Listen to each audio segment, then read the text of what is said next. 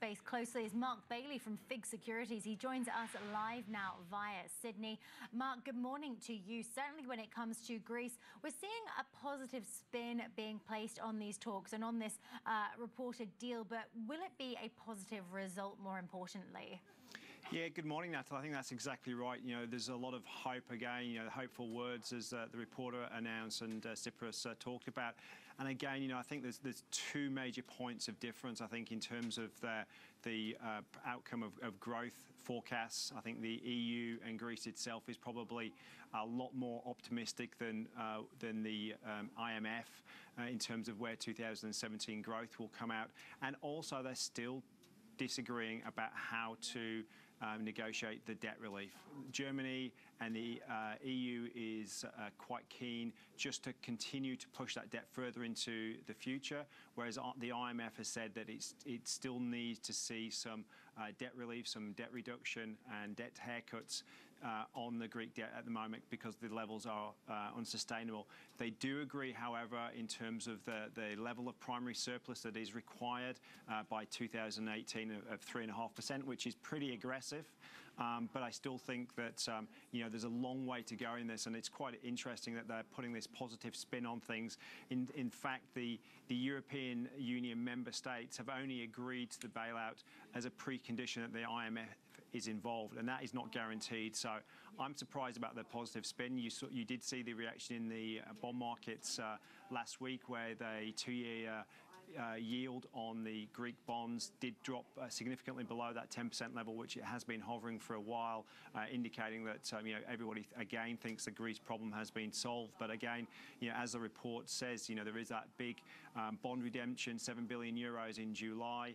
Um, you know the next next meeting and the package is, is hopefully going to be agreed by March. So it doesn't leave a lot of time in the meantime to get everything lined up. And I still think there is a lot more to play out in Greece and everybody's just quite keen to, again, brush everything under the carpet and, and move on. You know, as, as the report also says, there's a lot of European elections. You've got the Dutch ones coming up. You've got Germany, France. Um, you know, the political situation in Italy, as always, is uh, is fairly volatile. So there's a lot of uh, other issues as well within Europe, and I still think that, uh, that Europe more broadly is a big risk for the global financial markets. Certainly interesting to note. We did see, as you flagged, Greek two-year yields dropping to their lowest level in a month. Uh, this coming after German Chancellor Angela Merkel signalled she is ready to support debt relief for the nation. But if we turn our attention also to um, sentiment coming through from the US, and again, we've seen similar activity here. Bond markets certainly uh, suggesting that US equities have rallied too far and too fast.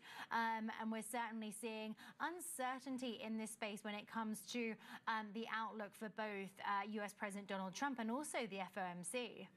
Yeah, there's a, there's a huge range of um, kind of topics in there, Natalie. I mean, I guess if you look at the equity market, I heard uh, uh, this morning that the, the US equity market has had the most consecutive days uh, in, in positive territory since 1987 and we all remember what happened in 1987. So I agree that you know equities at the moment are certainly looking a bit toppy. You know, price earning ratios are looking expensive. There's a lot of uncertainty, geopolitical uncertainty out there, and that's not coming through in terms of either the volatility or in the in the share price. You're seeing um, a, a, lot of hope again. You know, Trump is due to um, deliver his State of Union address on Tuesday night. There's hope that we'll get some uh, better indications in terms of some corporate tax plans, in terms of maybe some personal tax plans, and also the fiscal spending. But again, I, have got a feeling that he's going to be very scant on the details, as he has been so far, and that is, has a potential to disappoint the markets because I think that you're going to start to need to see some uh, more detail coming through. And you are seeing a few leaks here and there, but again, it's not definitive plans about how that's going to uh, progress. I mean, there's talk that you might see a draft in, in mid-March that uh, potentially goes up to Capitol Hill um, so that um, the, the senators can have a look um, at that draft then. But at the moment, we're still very thin on, on the ground in terms of details, in terms of any kind of border tax and how that's going to play out. So you know, I think at some stage Trump is going to have to deliver on the detail of his plans, and if that doesn't happen, I think you're going to see the markets kind of be disappointed, and you know, may may be due a, a bit of a pull that pullback given the uh, exuberance that we're seeing in, in, already priced in in, in, the, in terms of the, the share price at the moment. And absolutely, this is what we are watching and waiting for. Trump's State of the Union address to take place on Tuesday night. It will be our lunchtime um, here in Australia. So certainly will be um, a, a live item when we do get that. What happens, Mark, if we don't get hints of what this policy is likely to be? I, th I, think you're going to see the markets being disappointed. I think you'll see um, equities pull back a bit.